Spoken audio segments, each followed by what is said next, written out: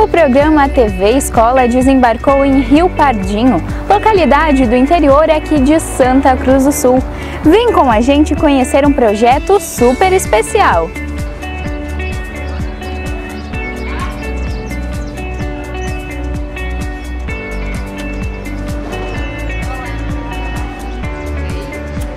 É aqui, no Espaço Cultural e de Cidadania de Rio Pardinho, que através do Centro Integrado entre Gerações, o CIEG, crianças e adolescentes do meio rural participam de uma série de atividades em contraturno escolar.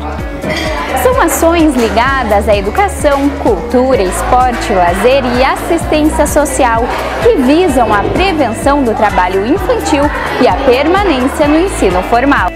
Diana, que é a atual coordenadora do projeto, qual o objetivo então do CIEG? Promover a cidadania de crianças e adolescentes do meio rural em contraturno escolar é uma das ações que move o CIEG. A gente atua atualmente no Espaço Cultural e Cidadania de Rio Pardinho, uh, em contraturno escolar, três vezes por semana. A gente tem atividades aqui que envolve judô, música, cultura e dança gaúcha, esporte, lazer, recreação, inclusão digital e também temos a oficina da pirâmide alimentar. A gente conta com profissionais qualificados dentro da sua área de atuação aqui. Contamos também com pedagoga e assistente social. As nossas atividades elas visam o desenvolvimento cognitivo, intelectual, físico e social das crianças que aqui participam. E atualmente são quantas crianças e adolescentes fazendo parte do projeto? A gente atende 60 crianças atualmente em contraturno escolar, desenvolvendo então atividades dentro da área do cognitivo, do físico e do social. E Diana, de que forma o projeto é mantido? Para a gente continuar tendo as atividades aqui, a gente conta com parceiros permanentes. Eles nos ajudam a manter tanto as condições estruturais, funcionais e materiais. Entre esses parceiros, a gente tem a empresa da Universal Leaf Tabacos, por meio do programa Universal Leaf Cidadão. Temos também o Hotel Charua e a Prefeitura Municipal de Santa Cruz do Sul.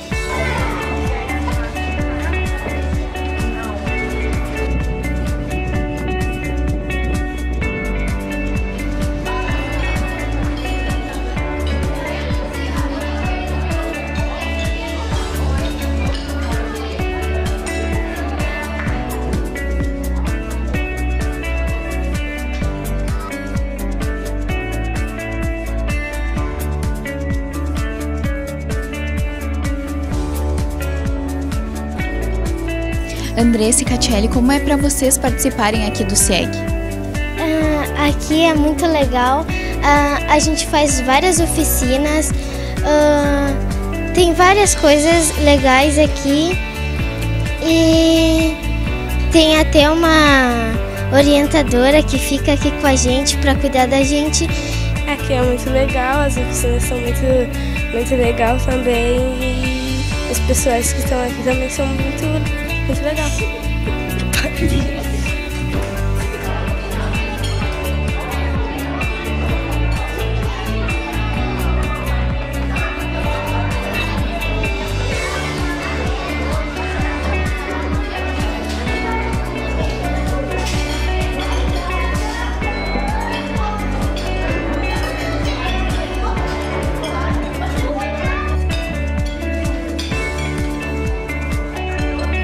Esse já não é o primeiro ano que o Lucas faz parte aqui do CIEG. Para ti, como é participar desse projeto?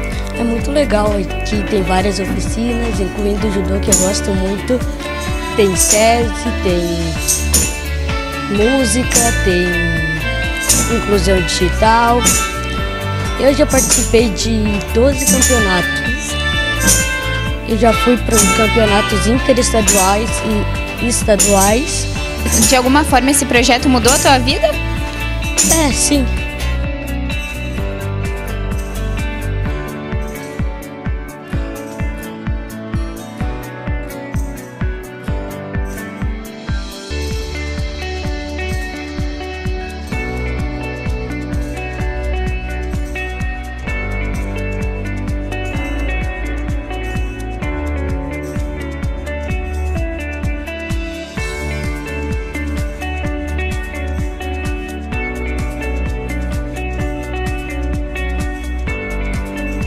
Meninas, para vocês, como é ser uma aluna destaque aqui do projeto? É muito legal porque a gente aprende a fazer várias coisas e quando a gente é um destaque, quando vem, tipo, vocês aqui, a gente apresenta o projeto e ajuda as, as coisas. E para ti? É muito legal porque assim, tipo, como eu vou dizer, a gente é muito amigo aqui. É. E de alguma forma esse projeto mudou a vida de vocês? É, a gente fez bastante amizades novas e conhecemos pessoas novas. Ah, também a gente conheceu várias pessoas novas, como a Jana, a Soraya. Giovana e Bernardo, o que, que vocês acham de participar desse projeto? Eu gosto de ah, dançar, ah, ah, cantar, participar das aulas. Vocês fazem muitos amigos aqui também? Sim, Os professores são legais? sim. E Bernardo, o que tu acha de participar do projeto? É legal, eu gosto da- das atividades como dançar, música e jogar.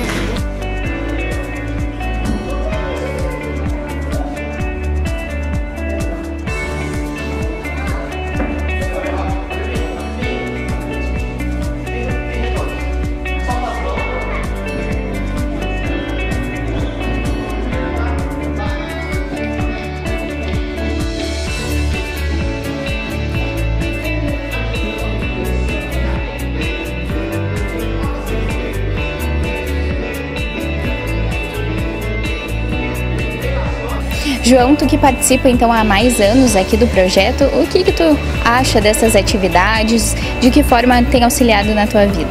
Legais eh, e ajudou um pouco O que tu mais gosta aqui de participar? de a oficina de música. E é uma habilidade que tu já tinha, desenvolveu aqui? Desenvolver aqui. Isso aí. Espera seguir de repente nessa área? É, espera. A Franciele, agora em 2019, vai participar do Jovem Aprendiz, uma aluna de destaque aqui do SEG. Verdade.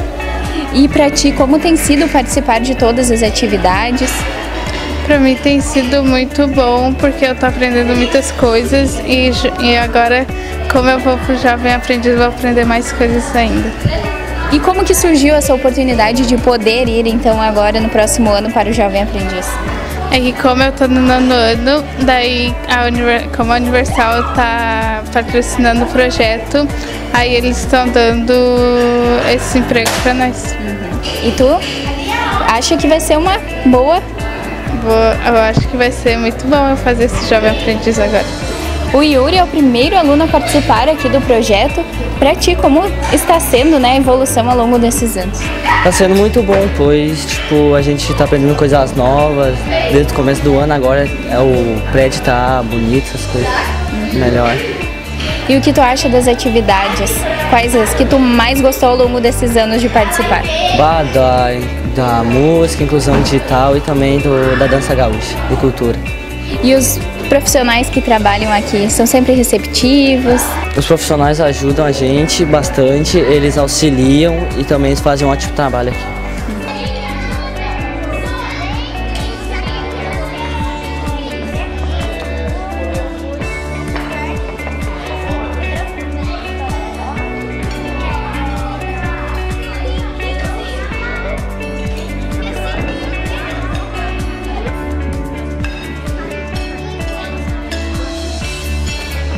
Paulo Barros é professor de judô, uma arte que exige muita concentração dos alunos. Estamos aqui né, há quatro anos no projeto, em parceria com o CIEG. É, o judô é uma arte marcial que exige muita disciplina, respeito e hierarquia.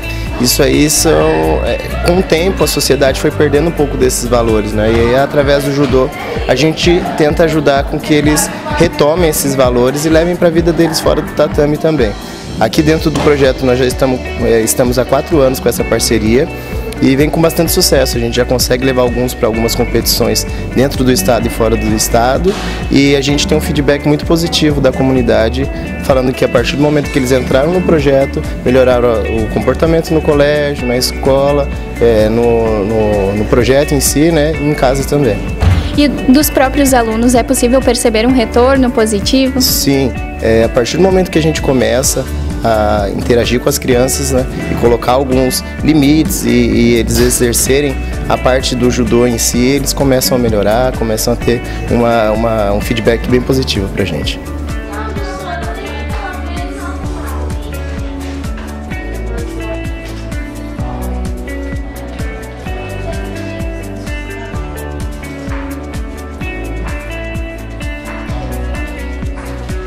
E qual o retorno então vocês têm obtido das atividades? Nesse um ano e três meses, mais ou menos, que nós estamos trabalhando com esse sistema, a gente percebe que há uma evolução no próprio comportamento das crianças. Essa rotina deles estarem num turno na escola e no outro turno num projeto social que tem atividades sistêmicas, faz uma diferença no desenvolvimento deles a própria socialização na hora das refeições, os hábitos de higiene, tudo isso vai incorporando na, na, nas, nas atitudes da criança. Então a gente recebe da escola isso, mais atenção, mais responsabilidade, mais sociabilidade. E eu percebo neles, como a gente trabalha bastante nessa questão de fortalecer a cidadania, uma autonomia. Eles, quando têm um questionamento, eles não mandam um recado. Eles chegam e dizem, Nelson, por que, que eu não posso fazer tal coisa? Então, isso para nós é um bom resultado que demonstra autoestima, autonomia, cidadania, porque a gente está preparando eles para o mundo lá fora. Então, é muito bom eles serem questionadores e críticos, porque a gente pensa que amanhã, quem sabe, não vão ser os nossos governantes. Precisam ser críticos. Converso agora com a Suzane, uma das idealizadoras do projeto e também atual presidente. Como surgiu então o CIEG? O projeto CIEG surgiu em 2012 no Casarão Verde e desde agosto de 2017 está aqui nesse local. Eu vou aproveitar essa oportunidade da divulgação de vocês para agradecer nosso agradecimento às famílias e aos nossos parceiros que acreditaram nos nossos sonhos, que tornaram realidade tudo isso que vocês estão vendo hoje. Muito obrigada.